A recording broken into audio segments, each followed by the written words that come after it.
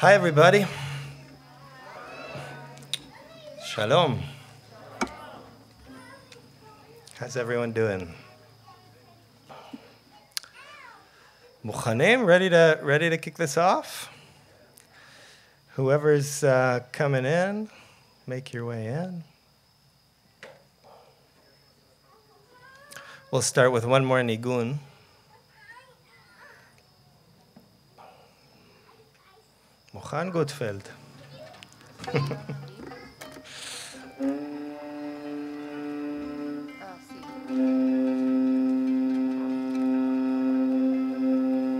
See if you can catch this melody if you don't know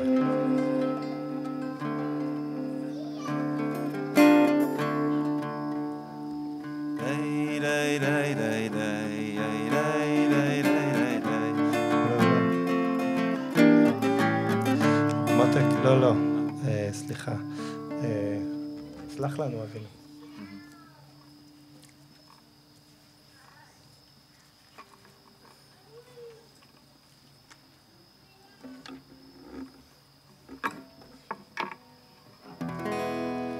Yeah.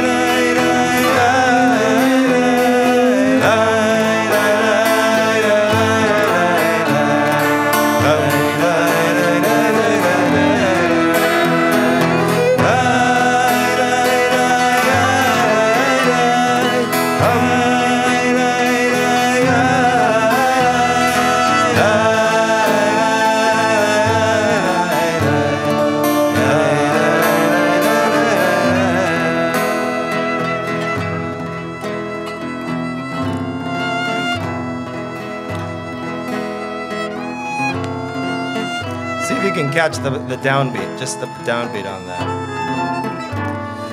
Um, those of you on, on Zoom as well. Dum,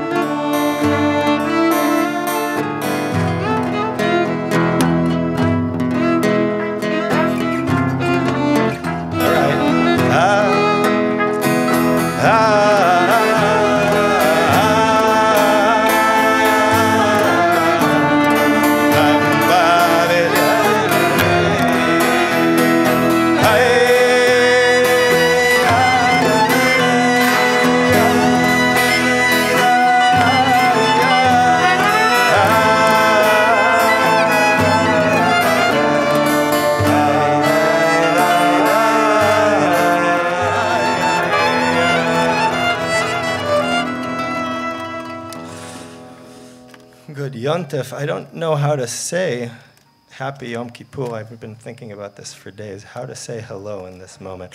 I'll just say Shalom, because good Yontif doesn't sound right. But we can say Erev Tov or Shalom. So before we light the candles, I'll just remind you all, and those of you especially in the virtual world, of those little preparations we did before Rosh Hashanah. So, in the temple, we said, before we prayed, we would wash our hands. So, everybody, wash your hands. Yeah, feel your hands. You can also uh, our, our, ancestors, probably not that long ago, would maybe earlier today have gone to the river to dip their whole bodies in the water. You can feel it on your, on your whole body. We're going to smell the incense, so take a few breaths.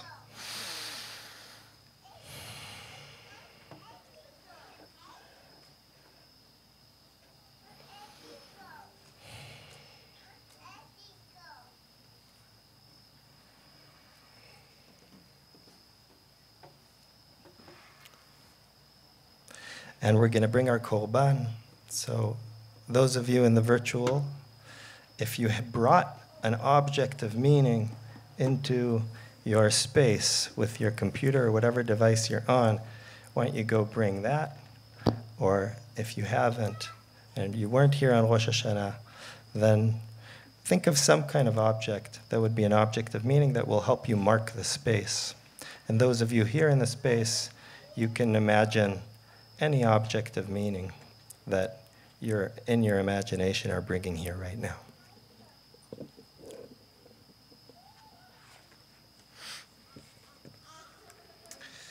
I'd like to invite Jody Hecht and Emily Melser to light the candles for us.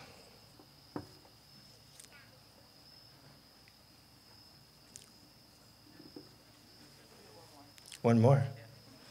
Welcome.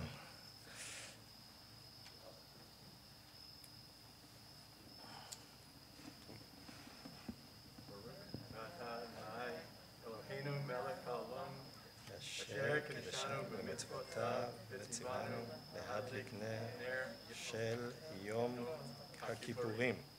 אמן. Beautiful, thank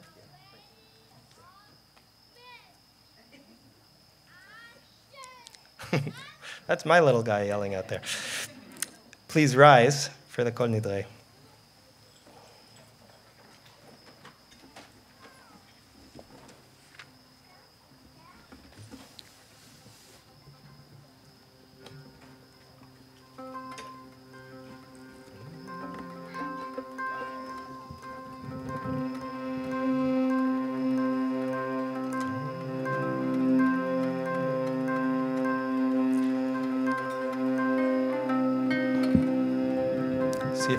repeat these words after me.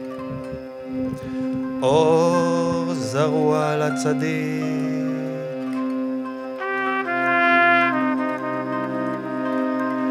ולישרי לב שמחה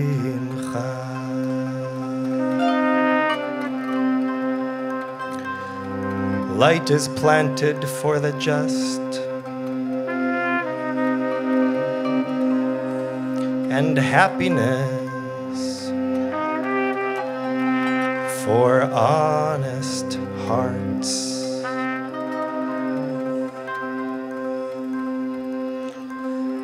בישיבה של מעלה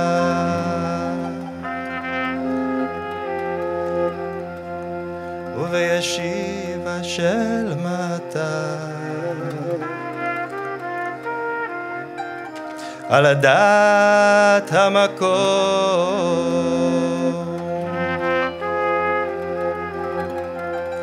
ועל הדעת הקהל.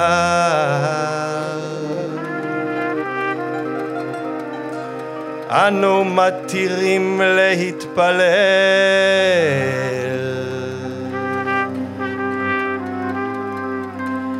עם העבריינים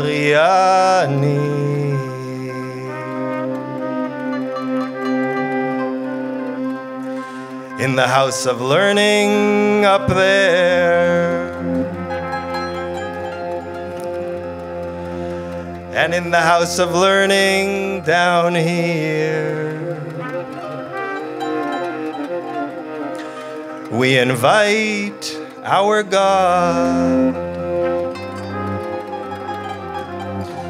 And we invite this community to pray with our fellow sinners.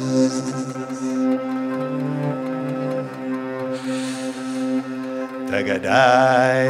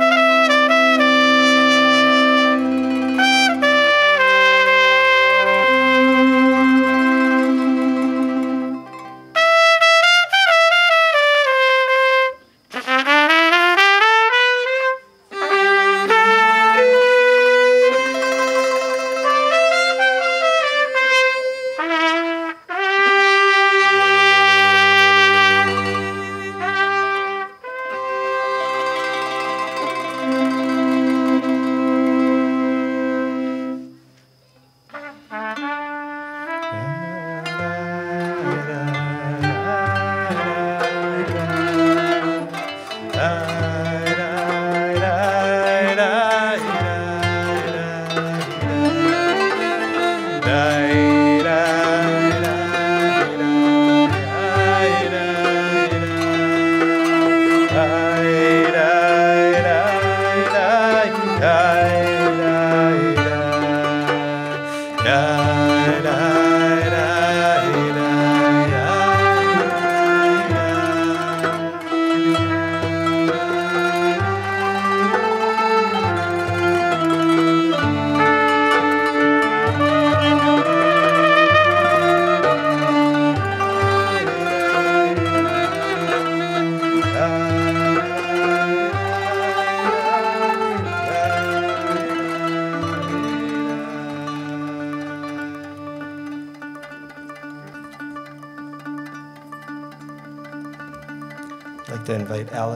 Schlanger to come and hold our Torah for us.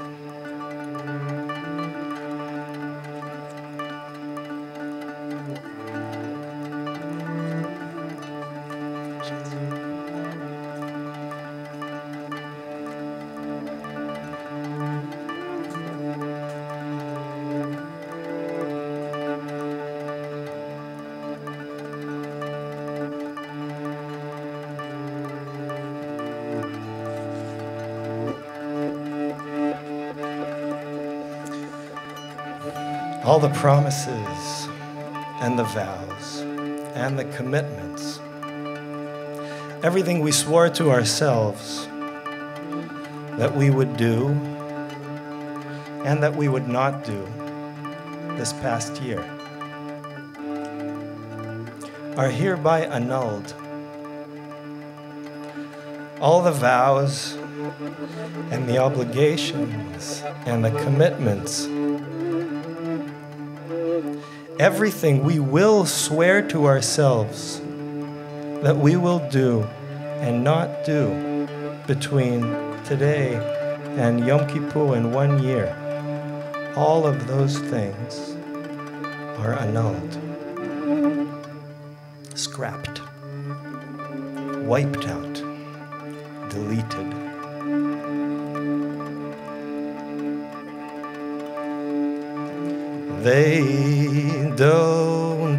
exist. They are nothing.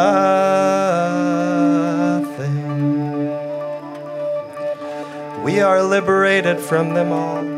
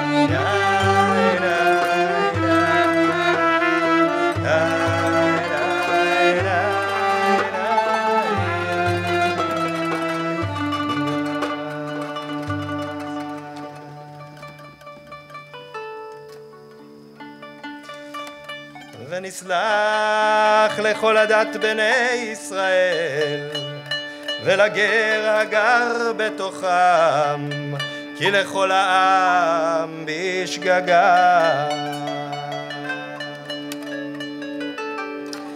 The entire community is forgiven for being human.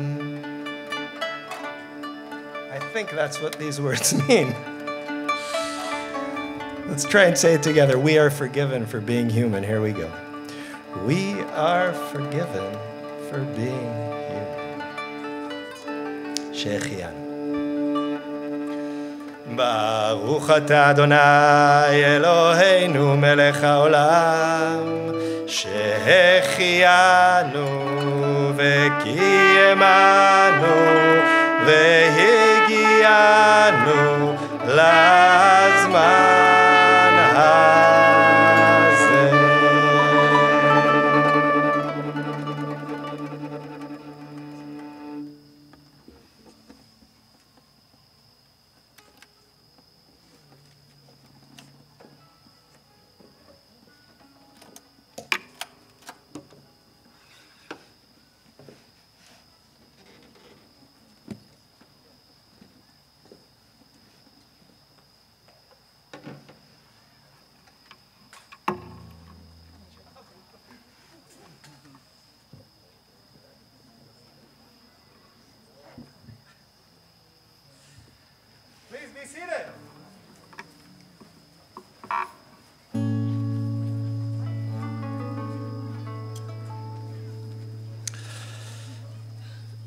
Now I feel a bit more at ease after getting that heavy bit out of the way.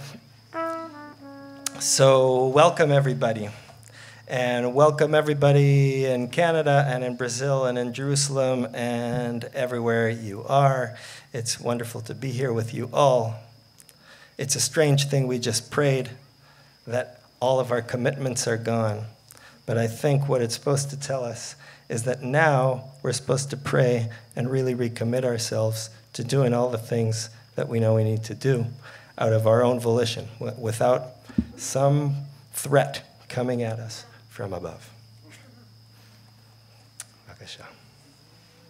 Sorry, please rise for the Baruch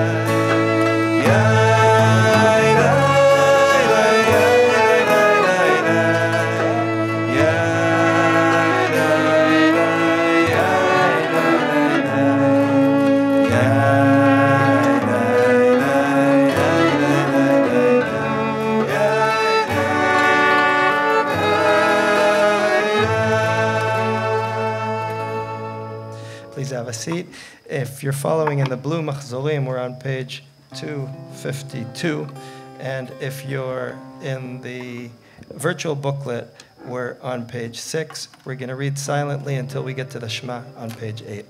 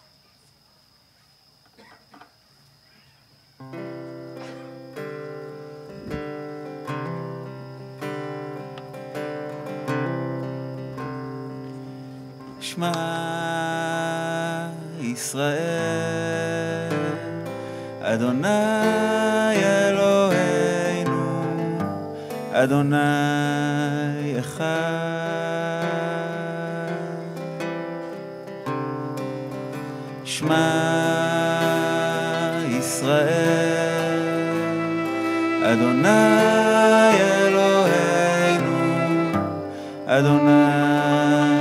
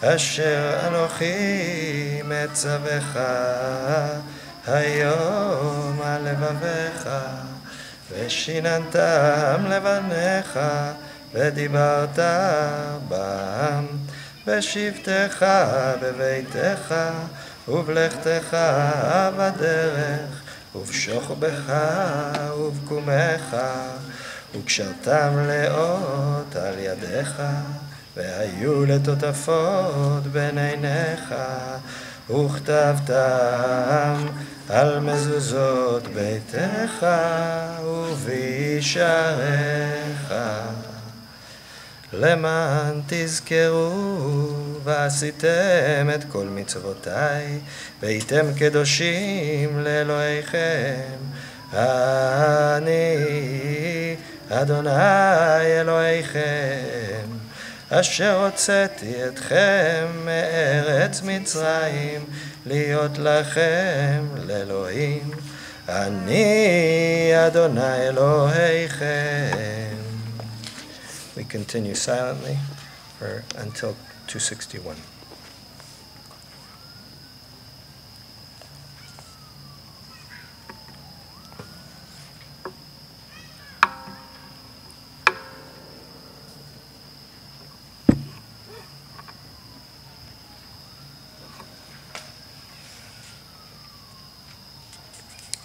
מי כמוך באלים, אדוני, מי כמוך נדר בקודש, נורא תהילות, אוסף אלה, מלכותך ובניך בוקע ים לפני משה, זה לי ענו ואמרו, אדוני ימלוך לעולם ועד. ונאמר, כי פדה אדוני את יעקב, וגאלו מיד חזק ממנו. ברוך אתה אדוני, גאל ישראל. השכיבנו אדוני אלוהינו לשלום, ועמידנו מלכנו. לחיים ופרוס עלינו סוכת שלומך, ותקננו בעצה טובה מלפניך.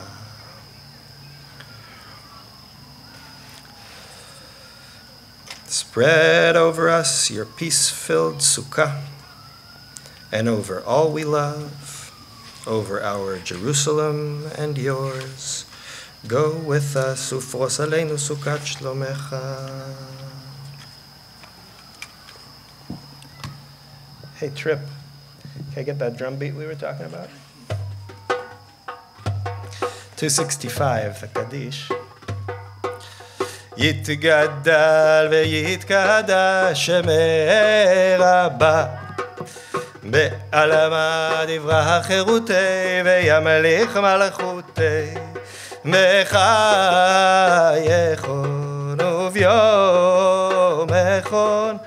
ובחיי דכל בית ישראל, בעגלה ובזמן קרים, ואימרו אמן, אשמר אבא מבורך, עולם לעולמי אל מיה. יתברך וישתבח ויתפאר ויתרומם ויתנשא ויתהדר ויתעלה ויתעלה שמי דקודשה שמי דקודשה בריחו לעילה ולעילה מן כל ברכתה ושירתה תושבחתה ונחמתה דמירן בעלמה ואמרו אמן. Want to give us some beats? Play, play some drums for us. Pick us up. We need a pickup. Let's go. Yeah, I'm saying, I'm saying, work those fingers.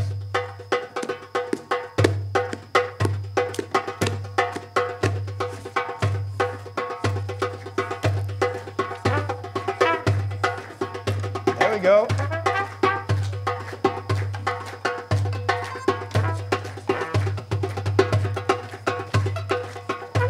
Yeah, go for it, Frank. Let's go.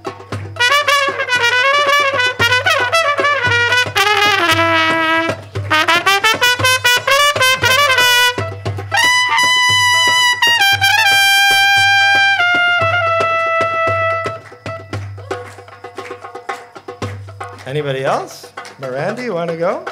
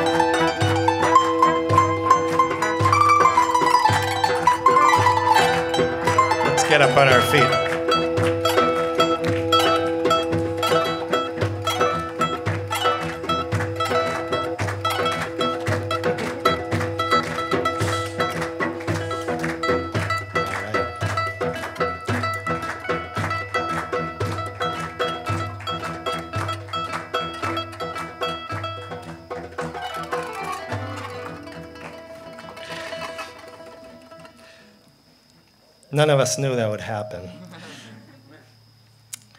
We're about to pray the Amidah.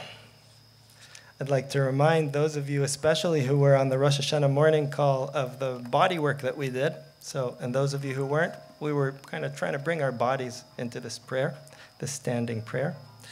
And I want to give you a heads up about what's going to happen at the end of this prayer, because it's going to be slightly untraditional. So, normally the Amidah ends with Oseh Shalom Bimromav, the prayer for peace. We've approximated that this year.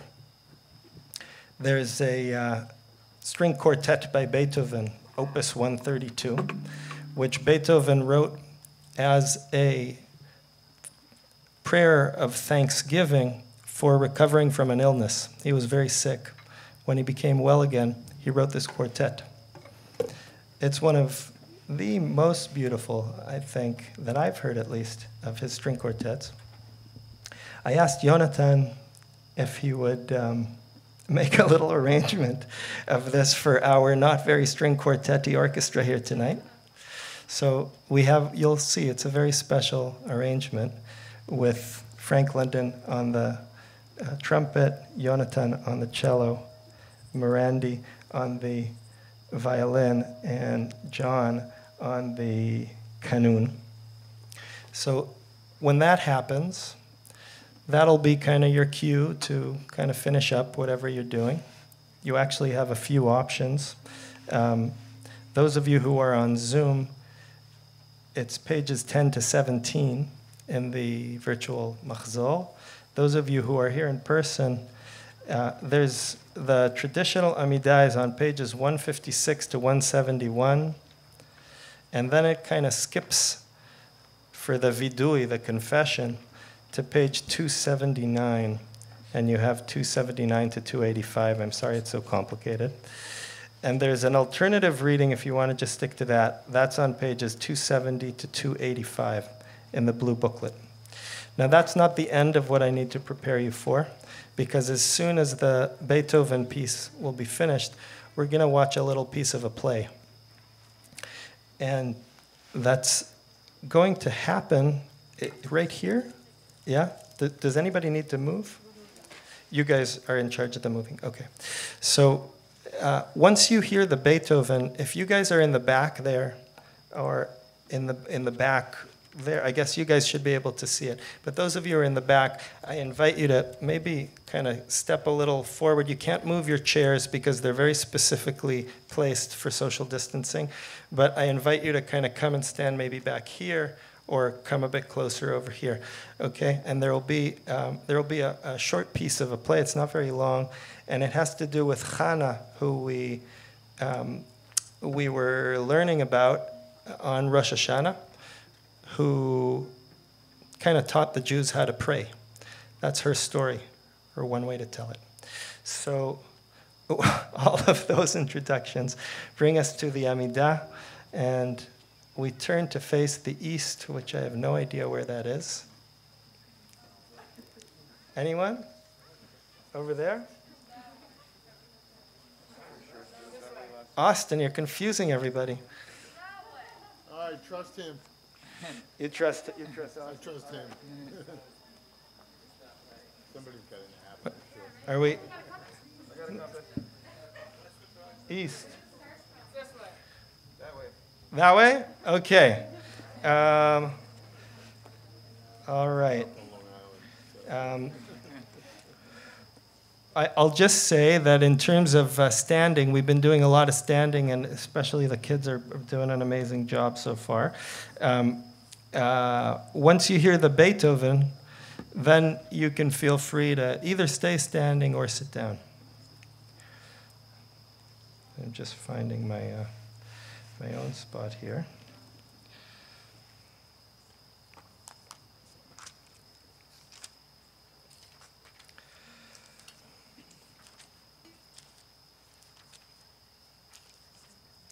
Adonai Sfatai Tiftach. ופי יגיד תהילתך. ברוך אתה, אדוני אלוהינו ואלוהי אבותינו ואמותינו, אלוהי אברהם, אלוהי יצחק ואלוהי יעקב. אלוהי שרה, אלוהי רבקה, אלוהי לאה ואלוהי רחל. האל הגדול, הגיבור והנורא, אל עליון, גומל חסדים טובים וקונה הכל, וזוכר חסדי אבות ואימהות, ומביא גואל לבני בניהם למען שמו באהבה. זוכרנו לחיים, מלך חפץ בחיים. וכותבנו בספר החיים, למענך אלוהים חיים.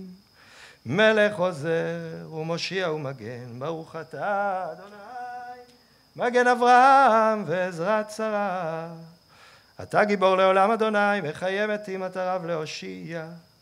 מכלכל חיים בחסד, מחיה מתים ברחמים רבים, סומך נופלים ורופא חולים, ומתיר אסורים, ומקיים אמונתו לשני עפר, מי כמוך בעל גבורות, ומדומה לך, מלך ממית ומחיה, ומצמיח ישועה.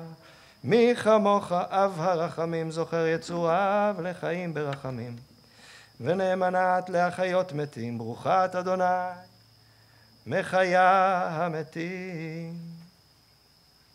We continue silently.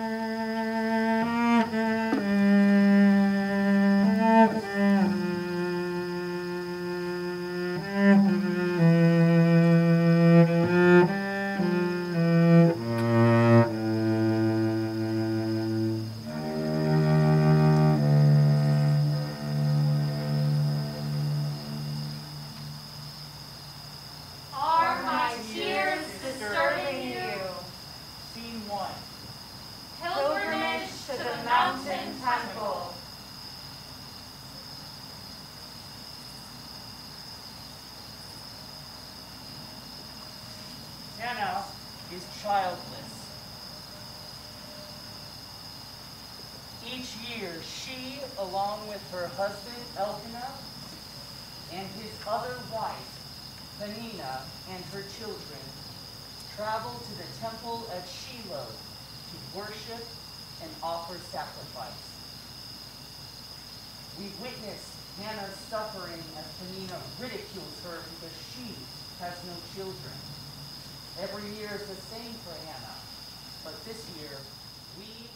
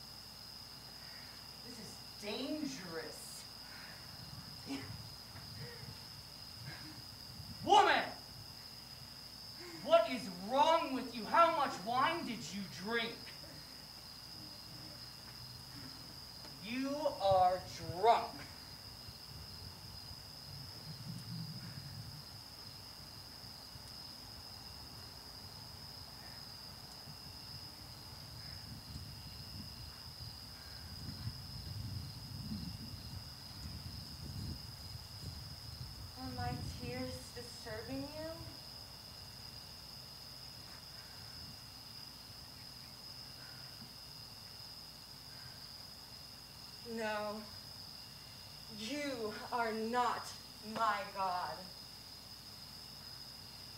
My God knows that I have no interest in wine. My God knows that I am a woman of hardened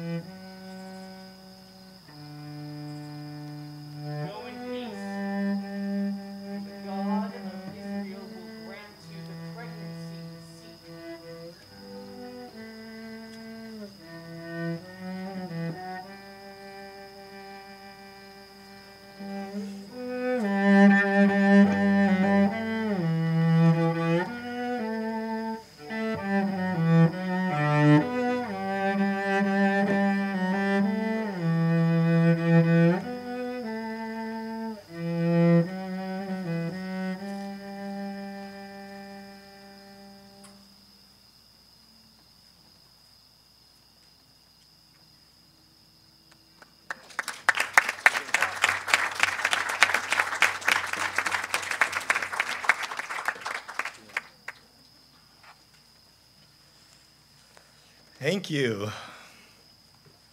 That was Avia, Hallie, and Grayson. Thank you. One, one more round of applause.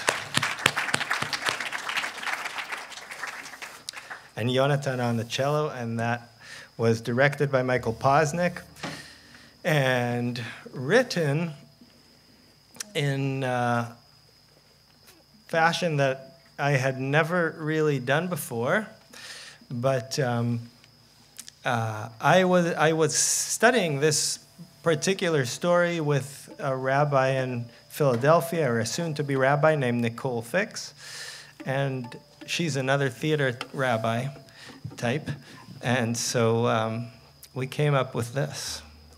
How many of you how many of you, when, when, uh, when Grayson said, This is different, how many of you did that resonate with? Different. I think it, I think it was. Strong. So, I want to say a few words. In part, I want to say a few words about like why you guys just sat through that and watched that, and why we brought this particular story. And in part, I just want to talk about where I'm at and where the world is. And in another part, I want to talk to my son who's sitting right here. That's Matan. Everybody say, Hi, Matey LaRue. Just kidding, he hates that. Don't say that. On Yom Kippur, I'm sorry, matey. Um, so, hopefully, you guys will understand by the end of this why, why we watch this play and why Hannah and why we're going to watch the rest of it tomorrow uh, in the afternoon service. So, I've been having a lot of amazing conversations with people. Um, many of you here tonight, um, many of you joined these uh, learning pods, the chevrutot, that we started. There have been, for those of you who don't know, there have been these like groups of learning on like 11 different topics that people have just been kind of coming together and reading stuff and talking about. And it's been very, very powerful um, for me personally to witness it, but I think also for a lot of the people. Um, even even uh, some of the melodies that you guys heard tonight came out of the Nigunim Chevruta. Um, so, uh, all of these conversations have been really amazing, but there was one thing that really stuck with me eh, from the last 10 days, and that's what Matan said to me, uh, or not to me, but to all of us who were there at Tashlich um, a little bit over a week ago. So I asked the question at Tashlich what's more important, listening or speaking out? Which is the more important? And Matan, he had two answers, but it was the second one that really kind of stuck with me. Uh, what you said to me, since you probably don't remember, is when you're talking to God, listening is more important. Which I thought, you know, yes, definitely. But um, I, uh, I did listen to you and I thought about it, Matan, and now I want to speak to you a little bit. So I want, I want to I want to kind of respond to what you're proposing. And the reason I want to do that is because speaking to God is what we're here for. It's one way of saying, what are we here for? Why, why are we here? Why did we come here for Kol Nidre? Why, are, why do we do this every year?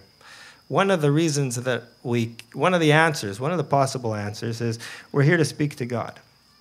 And I know, of course, that a lot of the people in this room don't believe in God or this tent, and a lot of the people in on Zoom um, aren't sure what they believe, and um, and you know there's different ideas of what that means or doesn't mean, and really. I don't think that matters so much for the point of the, for the for, for this conversation, because we're all here to connect with something. We're all here to connect with some kind of source some source of maybe truth, some something, something with our people, something with ourselves, our history, our collective or individual minds. We're here to connect with that.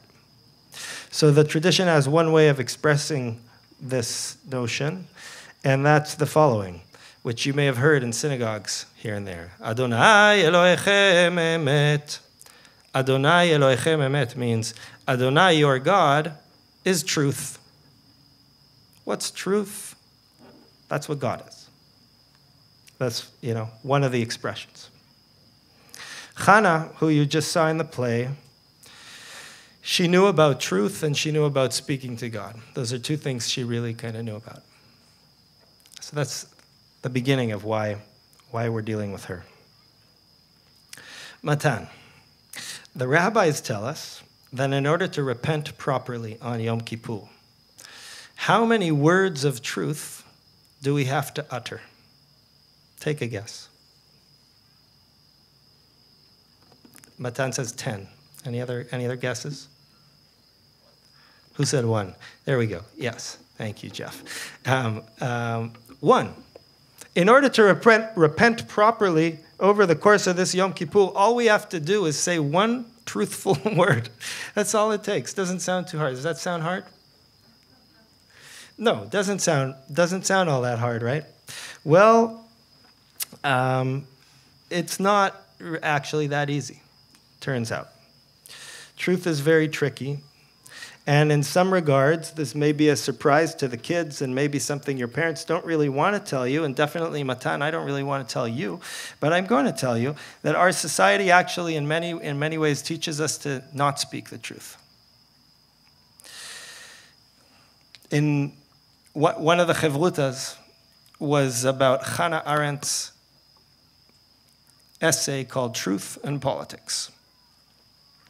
Here's what she says in Truth and Politics. Throughout history, the truth seekers and truth tellers have been aware of the risks of their business. As long as they did not interfere with the course of the world, they were covered with ridicule. But he who forced his fellow citizens to take him seriously by trying to set them free from falsehood and illusion was in danger of his life. If they could lay hands on such a man, they would kill him. That's what Plato says in the last sentence of the cave allegory. So, all of us are sitting here in Plato's cave. Yeah, you guys know this, uh, kids. You guys know this. Uh, you know, the Plato, Plato's cave says basically um, all of us human beings are sitting in a cave looking at shadows coming from light that's coming from outside, and we think that's reality, but that's not reality. Yeah, it's just shadows. So all of us are sitting here pretty comfortably in our cave, and um, we're looking at the shadows. And if someone if someone came in here and told us, you know, you're looking at shadows, what would we do? What would we want to do? Kill him. Yeah, that's what that's what Arendt says.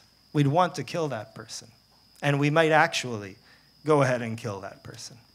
It's, it's happened before, not once and not twice. I, uh, it reminds me of one of my favorite Jack Nicholson lines. You guys remember A Few Good Men? You want the truth. You can't handle the truth. You guys remember that? Yes? No? Yeah. Oh, sorry. Um, so, uh, you know, I don't think I have to tell you what has happened to this word, truth, over the last few, few years in our, you know, public sphere. Um, Matan's, Matan tells me these jokes about it, about speaking to people who tell you that 2 plus 2 is 5, and when you tell them it's not, they, they accuse you of watching too much CNN. so you know there's a there's that, that's a, that's a problem and we see it with our kids also but we see it we see it with ourselves and i think that part of this kind of pandemic angst that we're experiencing has to do with the shakiness of truth and that we're, we're actually a little uncomfortable but there is actually uh, an even deeper problem because even if we wanted to speak the truth our tradition tells us that this may not be so easy yeah Another one of these chevrutas was the book of Proverbs. So in the book of Proverbs, chapter 8 is uh, it's a monologue by wisdom. And this is what wisdom says. Wisdom says, Ki emet yehegechiki v'to'avat resha. My gut gives voice to truth, and my lips despise lies. That's what wisdom says. Yeah, her gut gives voice to truth, and her lips despise lies. So,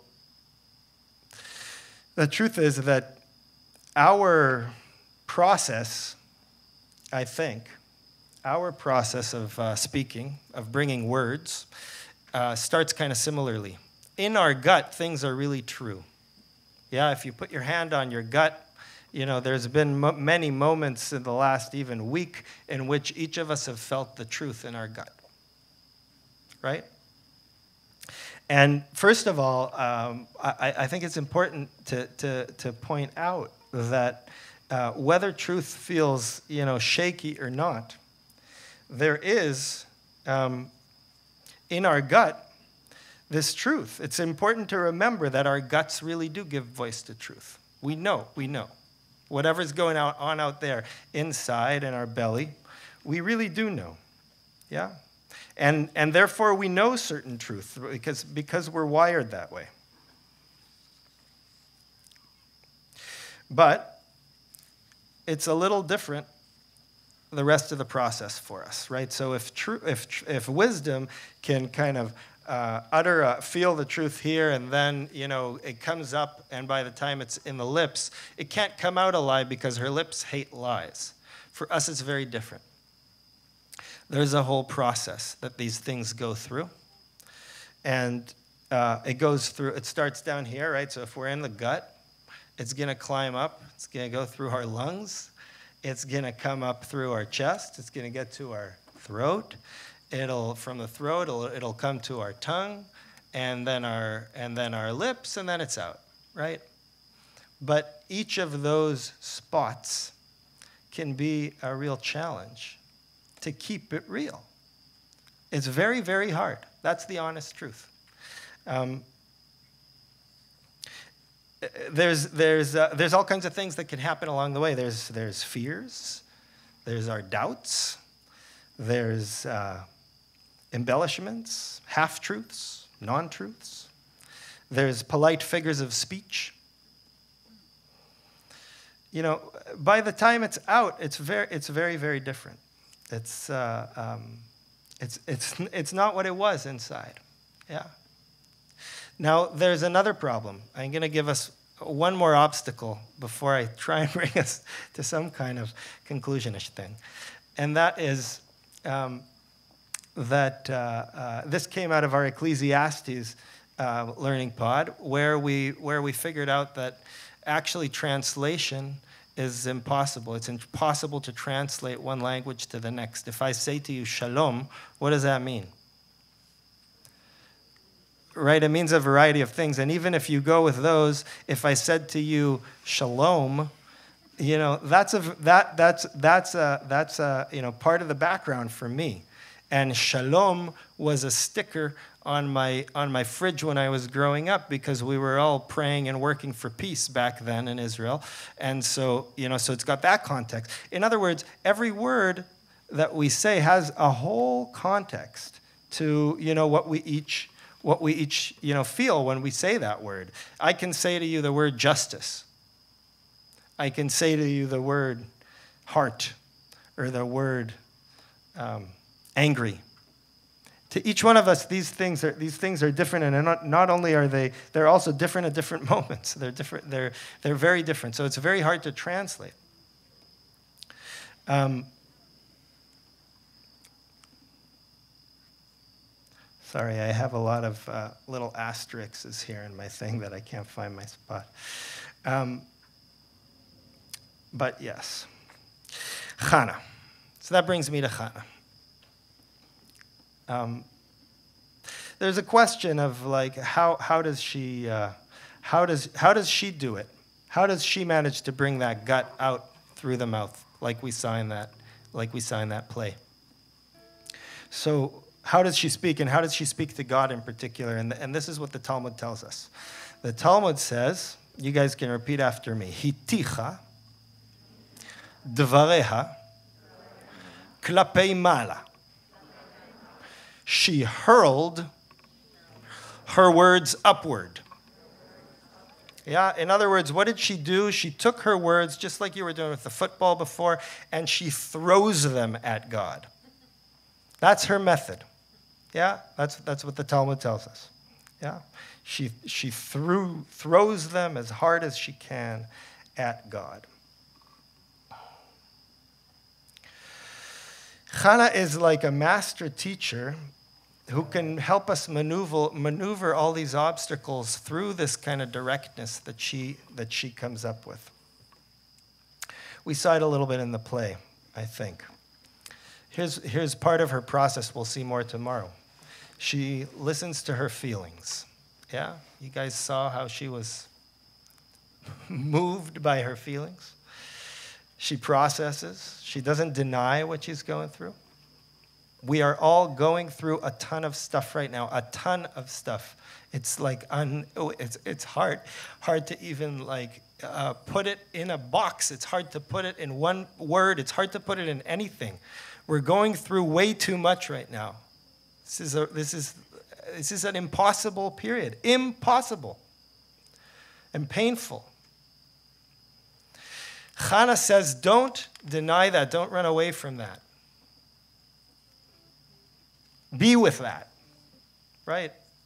Be with your fear, like, like Pema Chodron tells us. She lets her body respond. She sees who she's speaking to. Did you see that moment right before she started speaking to the high priest? You know, she sees him. That's another piece of our of our process here. This is another piece of who are we actually speaking to? Okay, we're going through stuff. We're, you know, but then somebody speaks to us. We have to see who that person is and how is that person able to hear or not hear. And then she just lets the words out. Whatever comes out. Yeah, it's, it's, it's not the politeness that we're used to. It's not. In Israel, we're a little bit freer on that regard, and I really don't recommend that we go in that direction. But, but, um, but uh, um, she, she allows it out. When we, when, we, when we speak to God, even when we speak to each other, we should let it out. We got to be honest with each other. So we are not Chana. We're mere 21st century pandemic time New Yorkers and other places. So we can't, we're not really tasked with the same thing she's tasked with, but we are tasked with this one word. This one word. So, um, the rest of tonight, tomorrow, tomorrow evening, let's see if we can if we can pray like Hannah, if we can actually, you know, be with be with where we're at and try and express something in that way. We're used to these like, blessed art thou, God this, God that. Hannah wasn't into that. Hannah was she really she wasn't. She wasn't. And the and the rabbis saw it and were like, that's the way we're supposed to be doing this. Talk for real. Talk for real. So if, you, if, if those words in the, in the machzor are, are not helping you, then ditch them and, and you know, find, your, find your way to do it. Yeah.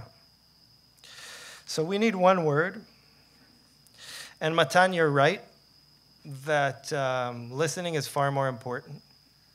It's far more important, I think. But um, without speaking out at all, we have failed. That's a truth. Without, without managing to speak, to say one word at least, we've failed. So we're about to sing this song, Ki Anu Amecha.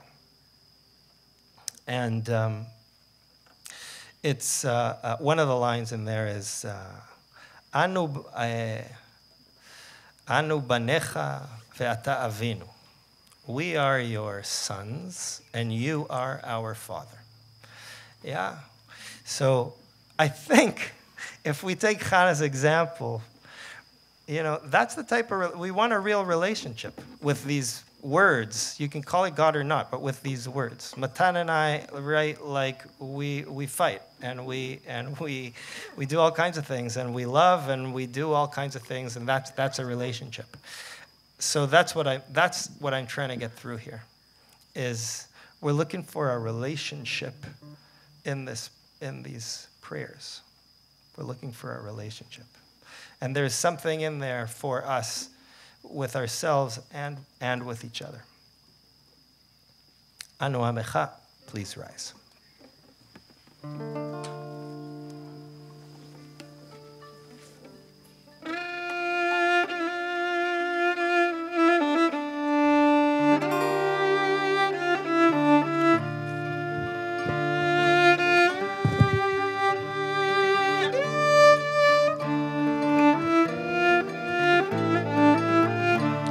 On page 18 in the virtual Machzor or 278, the bottom, I think, of 278 for the blue Machzor.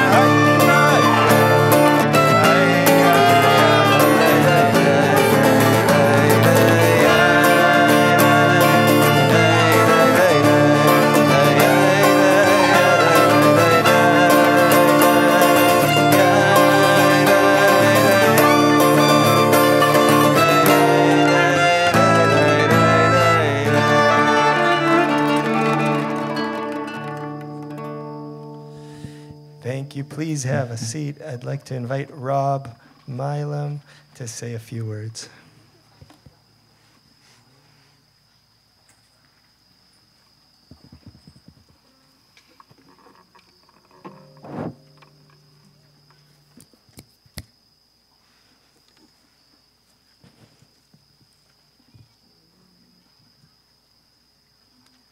Maybe I can't move that. Can you hear me in the back? So I like the rabbi's greeting, shalom. And thanks for everybody for being here tonight. Rabbi, thank you for leading us on a beautiful ceremony. And I don't know if anybody said it, it's not, it's not like a wedding speech here, but you know, I do think I want to thank Susan and Jean and the musicians and everybody else for you know, putting this together for us to, um, to be here together and, and to the Va'ad, which I'm a part of, and I'll explain that the Va'ad is the board. I didn't know what a Va'ad was either. It's okay for anybody else who didn't know, but there's a there's a whole bunch of people that have been putting time and minds in, into helping create what we're doing here together. So, as the rabbi said, I'm Rob Milam. I'm the treasurer, so we also do have a treasurer. There's there's a story behind that, and I've met some of the folks here, and there's a lot of people I haven't met before, and, and I'd, I'd love to meet you at the right time in the future. And while you may not recognize me, maybe you recognize my beautiful daughters. Last year, they joined the Weavers on the Bema, which I don't, I can't say that I understood exactly what the weaving was for, but the two hours of entertaining my kids was excellent, and I, I, I do thank them for thank them for that. It was wonderful. Um, so look, by a few words, I'm going to make a few more than that, but this is the Kol Nidre appeal. So when I was telling my kids, what are what am I doing tonight? Said, I'm making an appeal. What's an appeal? Well, I'm going to give a talk, like a speech. Yes. Okay. What are you going to do in your speech? I'm going to ask for money. Don't we have any money? Yes. It's not for us. It's okay. But it's an ancient Jewish tradition where somebody, often the treasurer, stands in front of the congregation and pleads and begs for cash, checks. I'd like you to know in the modern age, too, this shul, we also take credit cards, we take Venmo, we take Zelle, and effective next week, Susan, next week, we will now have a securities account again. So perhaps you can give us one share of Google, five shares of Apple. We, stock split, we need more. Um, so how this is going to work, and where's the camera so I can also, the zoomers over here? Hi, and thank you. Even better if you're zooming tonight, because what we're going to do, hopefully, in the back, we're going to put some links in, but don't do anything yet. We're going to make it real easy. We're going to put the Venmo handle, we'll put the website address, we'll put a link. You can throw some money in the chat. Just put a number, a dollar number, send a message to the new shul. We'll call you, we'll take your pledge. And in the in the tent with us, so everybody should have a little card and a little envelope. No pens required. I thought this was brilliant last year. All you have to do is fold up a little tab. Don't do it yet. I'm going to see if I can inspire you to give more than you otherwise might. Just be patient. And at Rabbi Misha's fine suggestion in this time of great need, and no jokes for this part, but very serious time need, what we'd also like to do is uh, give tzedakah tonight. That's very hard without speaking to everybody and knowing their personal cause, which, which we could pick. And across the Va'ad, what we decided to do, if you're so comfortable in doing so, we've also selected, at Misha's suggestion, the New York Coalition for the Homeless, and we'd like to help. And perhaps you can consider giving an extra 10% tonight. You may not know, I, I think I knew these numbers. There's 60,000 New Yorkers in homeless shelters any given night, almost 15,000 families. And last year, I believe, one in every 100 babies that was born in New York City, when they went home, they went to a shelter. So again, I think we can put the link hopefully to their website in the Zoom. If you're so willing, you can give some money directly. You can, when you make a pledge, you can add it. I think on these pledge cards, we'd be quite happy. You can pick, if you're so willing, two. Put one for the shul, maybe one to the, the left you can add for, uh, for a great cause. And really is our, I think the rabbi can talk about this, almost our obligation, not just to, to do, to give to charity. Uh, but now to the, to the main part. So what I'd, I'd like to talk about, and maybe this will resonate with some of you, is my own personal story with Judaism. Everybody likes to talk about themselves, so I'll talk about me. And each of us has our own unique journey with our faith and how we got to where we are here tonight together. But all of us, I think we all can share that in common too. Each part, maybe a little bit of mine will be something you went through. Or maybe for the younger folks, maybe not yet, but you might get there. I grew up in Idaho. That's a state. It's way out to the left for the last 20 years, usually with 0% of precincts reporting. It goes for Bush or something else like that. And we had one temple. We drew, drove 50 miles to get to temple. Fortunately, it was a Temple Emmanuel. They have branches everywhere. So we drive down. I thought that used to be what all the, all the synagogues were called. And on a Friday, in the land of the, the great diaspora of Idaho, to go to, to temple, I can't say that that was what I really looked forward to doing. We didn't have a rabbi, we had a dentist. he was great, though. When I was 13, I had my bar mitzvah. So you see my, my tallis, which uh, I was told was made by the blind Jews in Israel, which that may or may not have been true, but it sounded excellent. And the, the thought of weaving this with uh, while you're blind. Um, I mean, I couldn't, certainly couldn't do it with both eyes, so, so quite impressive. And on my bar mitzvah, I, I think I made $762 in gifts, which was the most fabulous day of my life to that point. Um, really wonderful. But growing up in the land of non Jews as a Jew, I can't say that I, I felt like it resonated or that I found, found my community. I came east for college in New Jersey. For the Jew from the land of non Jews, I had, I had found the Jews. My wife doesn't know this story. It's okay, it's, it's totally fine. But I, I met my freshman year and I, I met a young woman, and turned out she was Jewish. And I said, I'm Jewish. And she looked at me with a blank face. I, okay. I don't think I'd ever met a Jewish girl my age before. It was very exciting. But now in the land of Jews, the Jew from the non Jews in the land of the Jews, and I can't say that I really felt like I fit in there either. It was a, an interesting time. When I came to New York, because really that's where we all came we need a job. And I went to work, I went out, I made friends. And once a year, a friend of mine had invited me, and I went to Temple. New York's an odd place. I think the well, we have a million Jews and only 50,000 seats in Temple, so it's always a, an interesting time of year when we all we all want to go. And I did what I've done at the sometimes the new shul. I mean, we usually sit in the balcony. and I went and I listened to the music, and I listened to the rabbi. I eventually met my wife, my beautiful wife over here. And Shama and I, we were married by the rabbi, and it was a wonderful wedding. One of the most beautiful days of my life. I would have said the most, but I have three children and they weren't, they weren't there, so we have to be inclusive. But after a while, the, the rabbi retired, and I hadn't made friends, I hadn't really built community, and we, we drifted. And for us, we realized as we were, I said to my kids, I said, we're getting older, and they said, Daddy, you're, you're not old, you're just middle. Which is, that's something else, but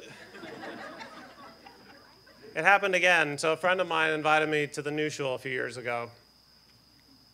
And again, we came, and we thought about things that were important to us and our kids. And my wife had said to me, my wife, after we got married, and I hadn't thought much about it, she said, I want the kids to be Jewish. And I thought that was, that was wonderful. And I said, why? And she said, well, there's a billion Hindus, but there really aren't very many Jews, and maybe we could, we could, we could help out, we'll repopulate.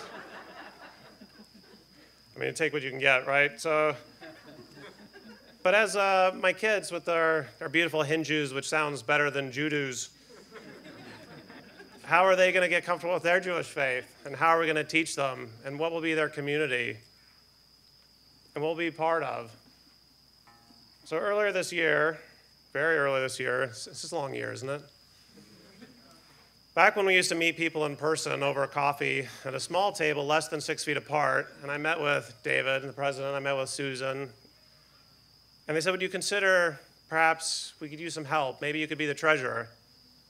And I think there's also a Jewish tradition of saying no, which I was quite happy to say, No, thank you. I'm very busy. Would you please reconsider? We'll make it a treasurer with a lowercase t. We won't take up too much of your time. Okay. Okay, I'll do that. Because you know what's important to me, actually? It's important to me that my, my family has a place to be. And, and where are we going to be without without helping, without being part of our community. So this year, too, the rabbi retired. But this year, I'm staying. My family's staying. And we want to be here with this community. And I've made friends. And the Va'ad has welcomed me and my family. And they call me. Sometimes during the workday, it's okay. And so, what I'm asking you tonight is to, to give. I think Susan very elegantly at Erev asked you to be a member. Tonight, I'm asking you to give. We need your donations. We're not in the best financial shape. This has been a hard year for the shul, too. But the music, the tent, the programming, We have Sukkot and Simhat Torah on the 11th. We're going to start Kabbalat Shabbat again on the 23rd. Our staff, so it's not free. We need your help. I hope you'll give generously tonight. We'll take your time. We'll also take your heart. We'll take your love. Tonight, we also particularly need your money. And I think, again, as an inclusive shul, if you're a capitalist, you understand it's not free. Please give some money. If you're a socialist, you can give somebody else's money.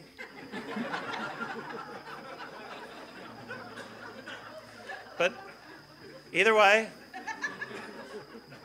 we'd be happy to have it. And these little cards, the ushers will collect them, we'll leave them in the back. But hopefully, what we can do, and with your help, and we're building this place and the learning pods and our community and our togetherness. And I know I've, I've looked forward to the Fridays, to Zooming, to seeing everybody, to making a prayer. And I'd love to continue to do that with you for next year and the years beyond. Thank you.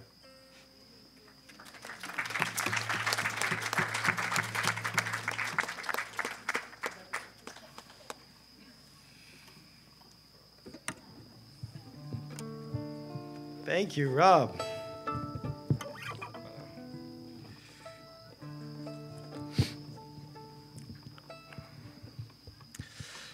Thank you. Rob and many others really deserve a lot of thanks for this um, evening and these whole these whole holidays. Really, it's been a beautiful, it's been beautiful coming into this community and seeing the way people come in. It's really a special thing in this shul. So um, thank you. And if, I- if uh, uh, Rob, you, you inspired me um, by talking so beautifully about your family. I just want to say thank you to Erica. Thank you, baby. Um, um, thank you. No, we don't need hands, but uh, no, no. It's it's been it's been a lot of it's been a lot to handle uh, with uh, these holidays, and I really appreciate it. Thank you. I'd like to invite Rob's girls to open the ark. That's Raya, Ashlyn, and Nalani. And you all can please rise.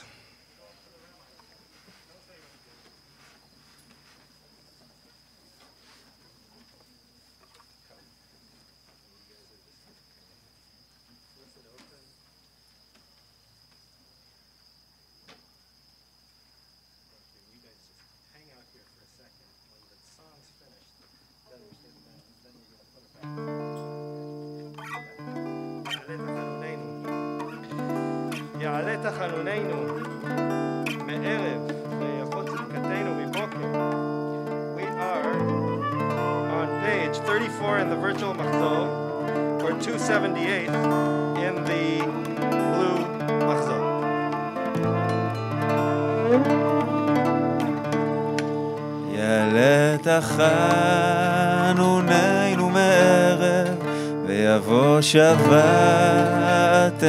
מבוקר, ויראה רינוננו עד ערב. יעלה קולנו מערב, ויבוא צדקתנו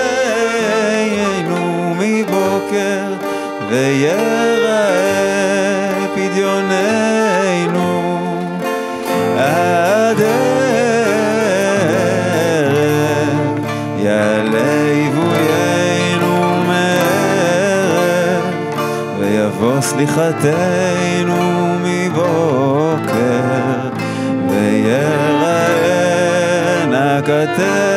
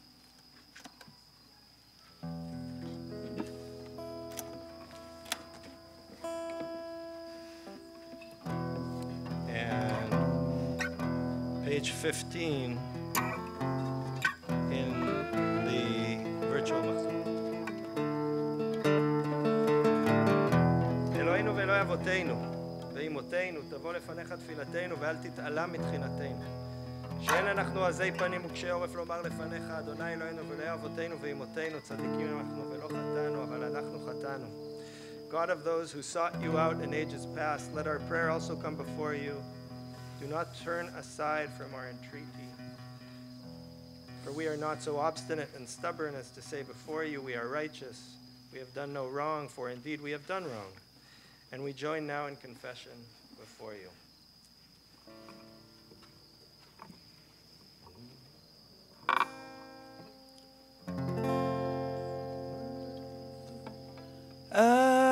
אשמנו,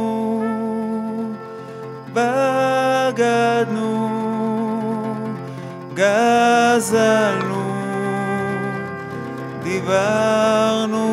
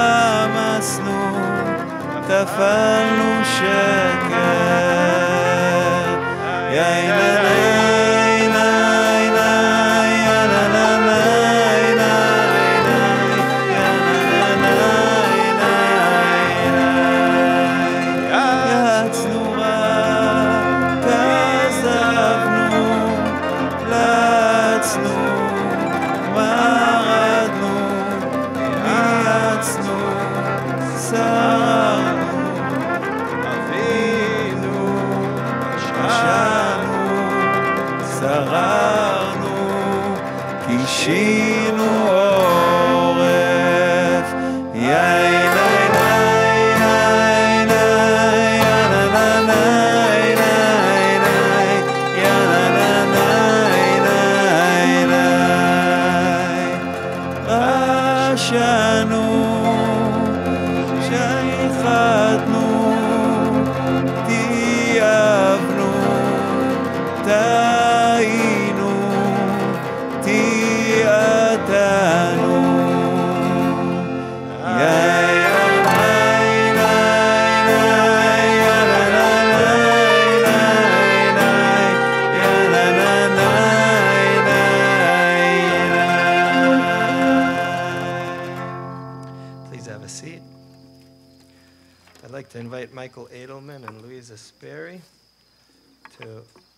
us a short reading.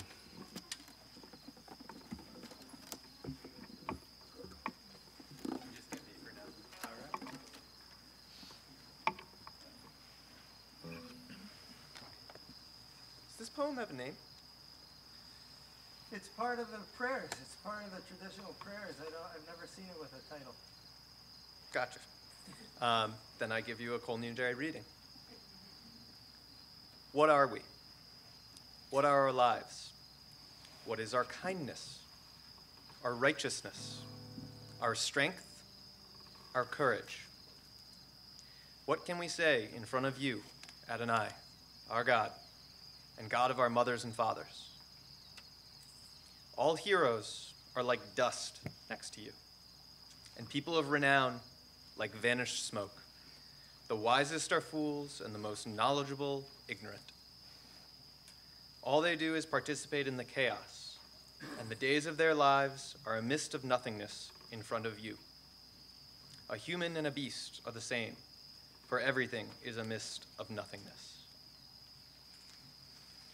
Which may be bleak, but sometimes so is Yom Kippur.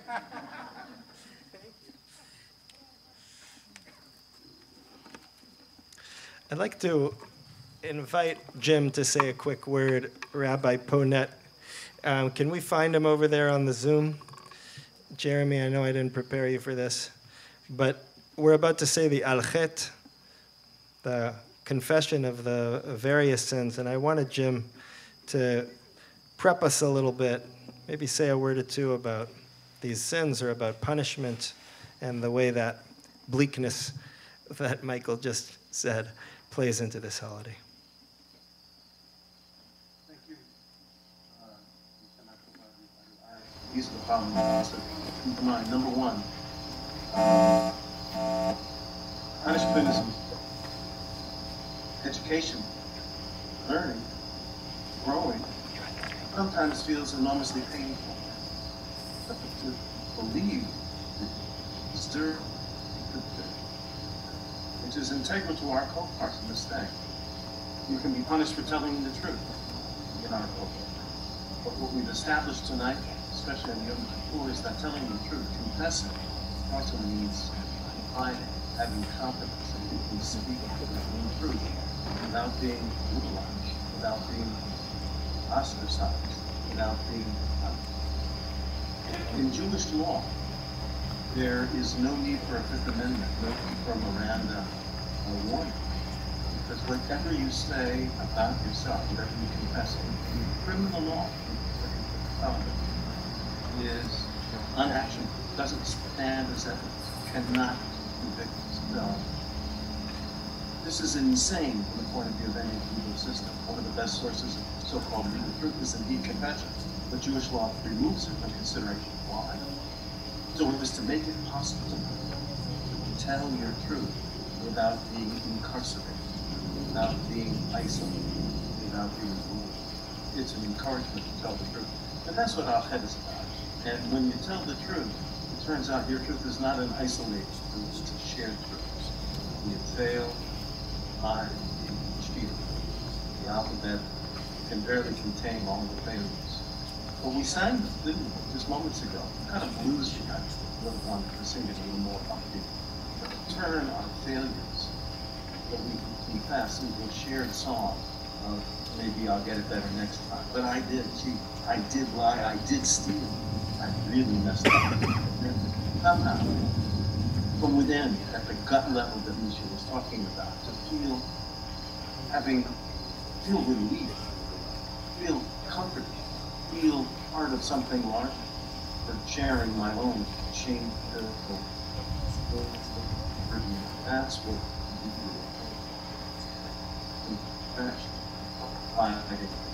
We don't do it every day, but we do it this day. This day is the time. By that freedom. Tell the. Thank you. To Jim. Thank you. I invite you all to please rise. We're on page 282.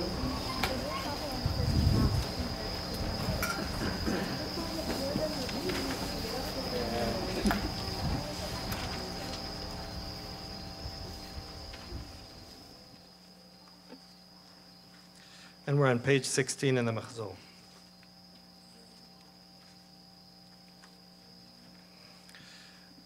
Why don't we do it this way? Um, we can, those of you who can read the Hebrew, let's read the Hebrew together. And those of you who can read the English, we'll read the English together. All right, here we go. We're at the bottom of page 282. על חטא שחטאנו לפניך באונס וברצון, ועל חטא שחטאנו לפניך באימוץ הלב, על חטא שחטאנו לפניך בבלי דעת.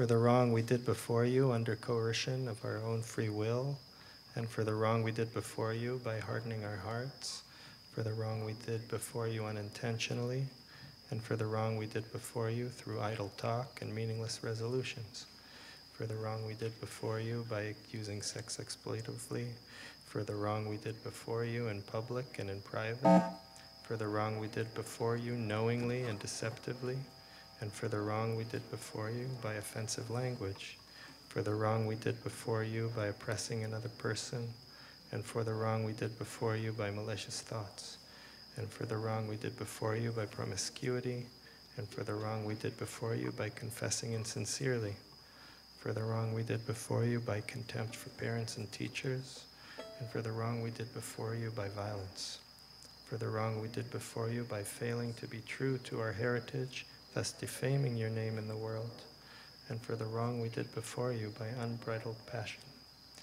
ועל כולם אלוה סליחות, סלח לנו, מחל לנו, כפר לנו. על חטא שחטאנו לפניך בכחש ובכזב, ועל חטא שחטאנו לפניך בחפת שוחד, ועל חטא שחטאנו לפניך בלצון. For the wrong we did before you by lying and deceiving, and for the wrong we did before you by accepting bribes, for the wrong we did before you by scoffing and mocking, and for the wrong we did before you by speaking ill of other people, for the wrong we did before you in our work, and for the wrong we did before you in the foods we eat and the amount we drink, for the wrong we did by refusing to be generous, and for the wrong we did before you by being proud and haughty, for the wrong we did before you in rejecting your authority, and for the wrong we did before you in making harsh judgments on other people. Ve'al kulam Eloa selichot Slach lanu mechalanu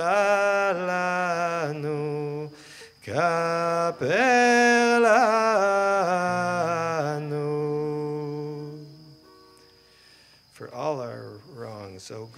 forgiveness, forgive us, wipe the slate clean, grant us atonement. על חטא שחטאנו לפניך בצדיעת רע, ועל חטא שחטאנו לפניך בצרות עין, על שח- חטא שחטאנו לפניך בקלות ראש.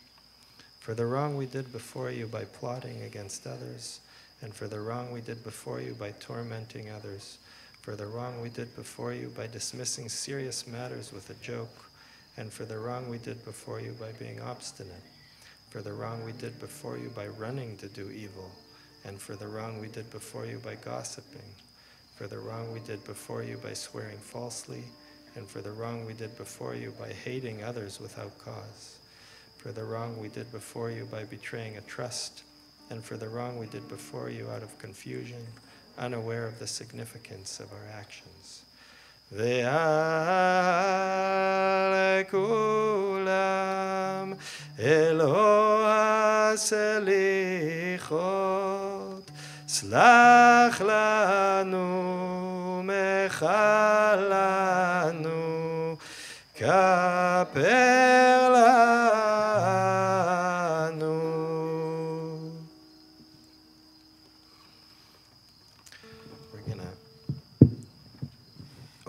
Ark for the Avinu Malkeinu. You guys want to help?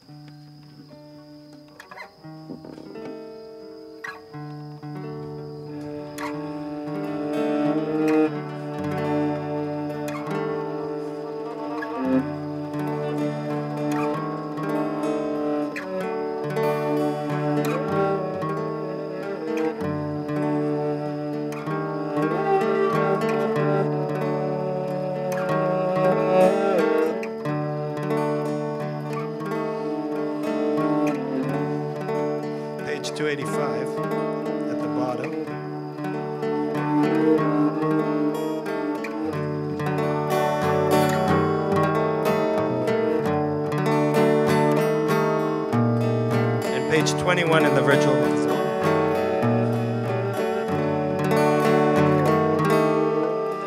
Avi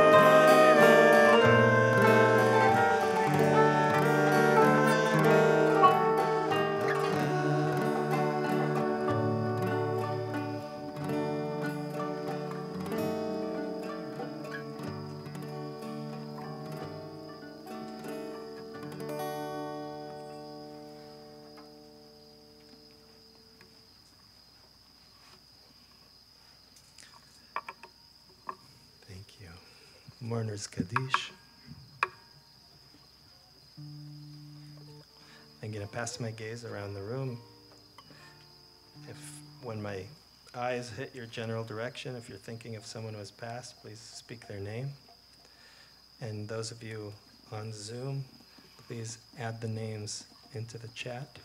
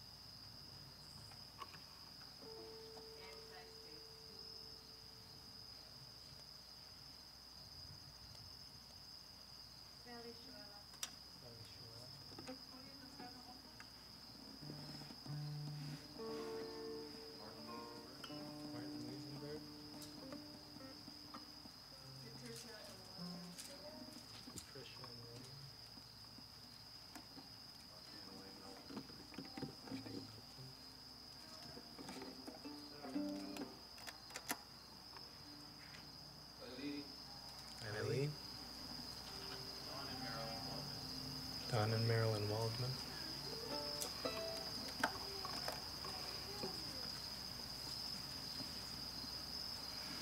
יתגדל ויתקדש שמי רבה, ועלמד יברח חירותי, וימליך מלכותי בחייכון וביומכון ובחיי דכל בית ישראל, בעגלה ובזמן קריב, ואמרו אמן, יהא שמי רבה מבורך, לעולם ולעולמי עלמיה. יתברך וישתבח ויתפאר ויתרומם ויתנשא ויתהדר ויתעלה ויתהלל שמי דקודשה בריחו. לעילה מן כל ברכתה ושירתה תושבחתה ונחמתה. דאמירן בעלמה ואמרו אמן. יהא שלמה רבה מן שמיה וחיים עלינו ועל כל ישראל ואמרו אמן. עושה שלום במרומיו הוא יעשה שלום עלינו ועל כל ישראל ועל כל יושבי תבל ואמרו Amen. Thank you. Please have a seat. I'd like to invite Susan for some announcements.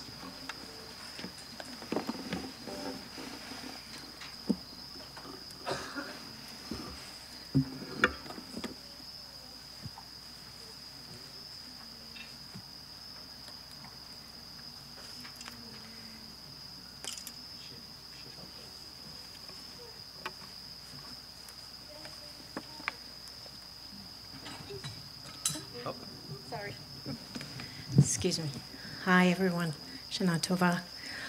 Um, I want to start by a little bit of a extended list to thank people. Um, but this is an extraordinary undertaking. And I really want to thank the amazing team of people who've helped me. The musicians, Jonathan Gutfeld, Marandi Hastetter, Trip Dudley, John Murchis- Murchison, and Frank London. Thank you. The wonderful performers led by director Michael Posnick, Avia Hernstadt, Hallie Chinetsky, Grayson Bradshaw. Our teachers who worked tirelessly with the kids and been amazing, Ronit Levin Delgado, Daniel Myers, and Jer- Jeremy Myers. Our amazing, amazing tech team, production manager and sound engineer Tom McLean, videographer, editor extraordinaire Jacob McCoy, and Zoom maestro and marketing assistant Jonathan Myers. Yeah.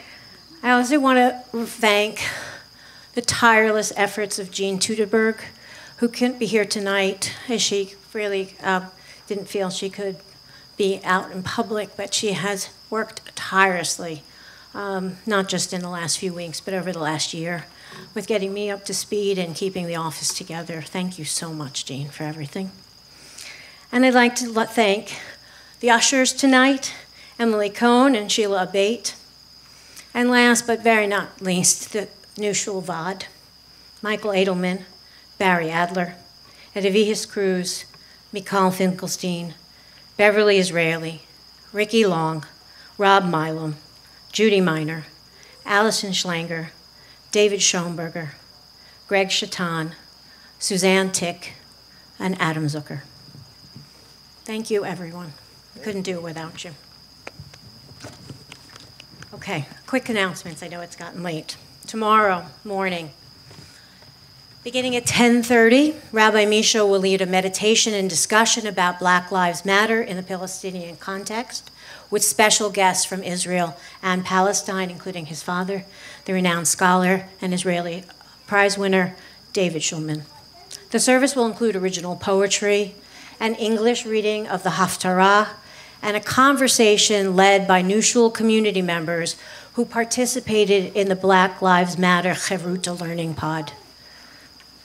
Tomorrow afternoon, we will gather here again at the farm and via Zoom, beginning at 4 p.m. for Yizkor, which will include an opportunity to share stories about your loved ones who have passed. At 5 p.m., Rabbi Misha will lead Mincha, including a Torah reading by a recent Bat Mitzvah. The second part of the extraordinary Hannah play we saw tonight, poetry, and a yogic body, body relaxation scan to prepare us for Neilah, the closing prayer of the day. At 6 p.m., we'll begin Neilah, which will be filled with the music of this amazing ensemble of musicians, featuring Frank London again on trumpet. And a special note it's worth coming simply for the Moroccan version of the hymn El Nora Alila, which is sung only once a year at this particular time. There is room tomorrow night. If you want to come back, please just let me know or Jean at info at newshul.org. And there's lots of room under the tent tomorrow afternoon. So please come, and we will have a safe but very lovely break community breakfast at the very end. So I look forward to seeing everyone tomorrow night. Shana Tova.